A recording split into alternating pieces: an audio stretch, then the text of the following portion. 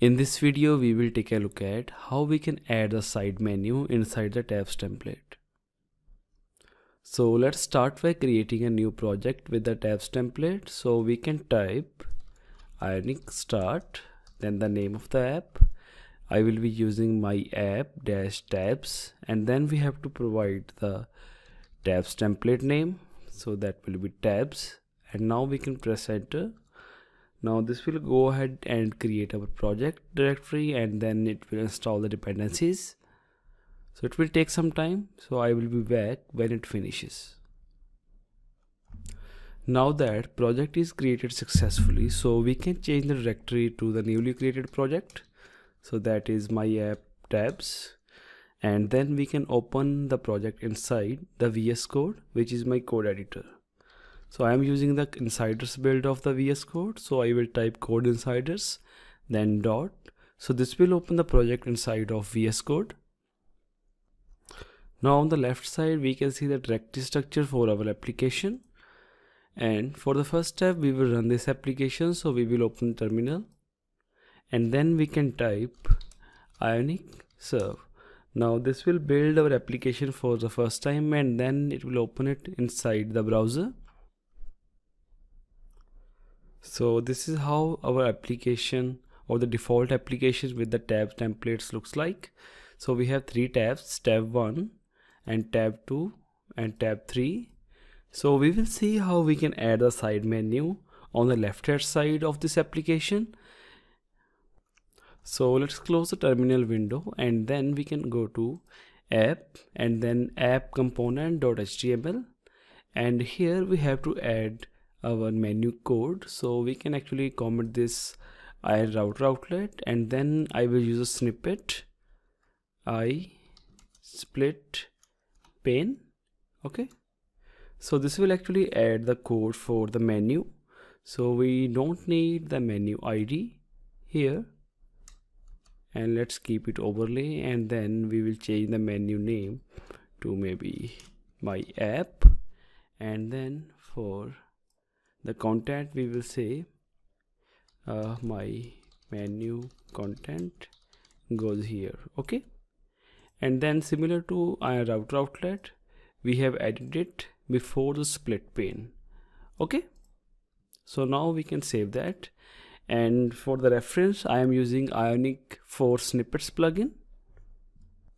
So if we go to the extensions and then if I scroll down and this is the plugin I am using for VS Code. Ionic 4 snippets y53 so now we can see we are using that ionic split pane tag or the component. So what this will do is for the menu to appear on the mobile devices we have to slide the menu from left to right. But on the all the other devices that are greater than the mobile devices for example tablet desktop and others. It will show the menu in the split pane. So on the left side we will see the menu and on the right side we will see our content. And now we can save the application. And here in the browser we can see on the left side we have our menu. So we will add the menu items here. And then on the right hand side we have this tab 1 tab 2 and tab 3 which is our the main content. So if i open the developer console so here you can see currently menu doesn't appear. So if I slide from left to right you can see our menu appears as a overlay.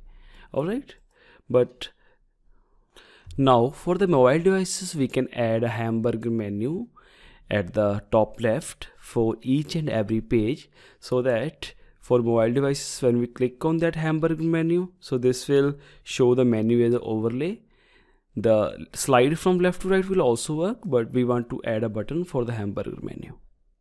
So what we can do is we have to go to each and every page and then we have to add the links or the button in the header.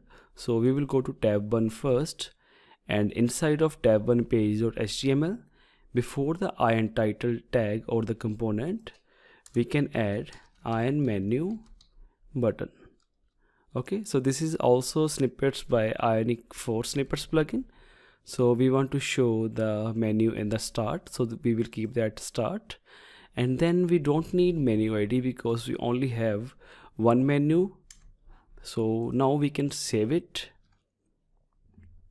And now currently we can see on the top left we have that hamburger menu and if we click that we will see our menu pops as an overlay but if we click on tab 2 there is no hamburger menu and similarly on tab 3 so we have to add the same code on all these pages. So we can copy this code. And then we can open tab 2 page.html and then we can paste it here. And similarly we can open tab 3 page.html and then we can paste it here. Alright so now we can see we are on the tab 3 and then the hamburger menu appears here and on the tab 2 the same effect. So this is how we can add the side menu inside of the tabs template